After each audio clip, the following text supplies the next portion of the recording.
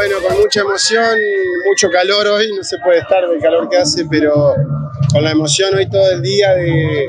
que es la noche donde se ve todo lo que uno trabajó, lo que preparó con todo el grupo, más de 60 integrantes en esta batucada este año, 40 son los que tocan, el resto acompañando, se preparó muy bien la temporada para estar en sintonía con la comparsa que tiene un gran desafío este año también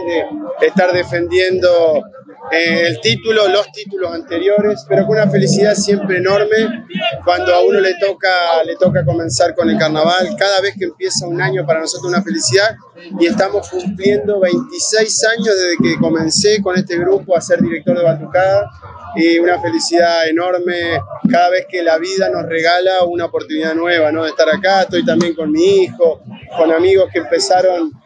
conmigo desde aquel momento, cuando yo era muy jovencito, así que es un disfrute pleno. Algunos de mis batuqueros tienen este, más de 50 años, así que imagínense lo que es para nosotros como gualeguaychense disfrutar de esta fiesta tan grande. Esperando siempre que sea una buena temporada, ojalá que para Gualeguaychú, para lo que significa el movimiento turístico y demás, se pueda disfrutar, que la disfrute la gente de Gualeguaychú como siempre hemos querido,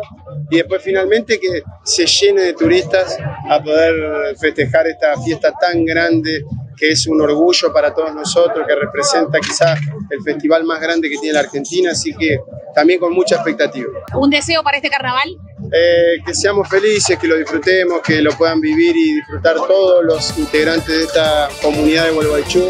que todos le puedan sacar el jugo y que siga siendo esta la, la fiesta que más nos enorgullece como habitantes de esta tierra.